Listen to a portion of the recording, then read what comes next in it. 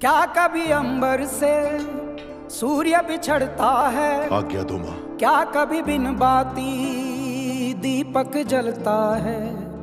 क्या कभी अंबर से सूर्य बिछड़ता है?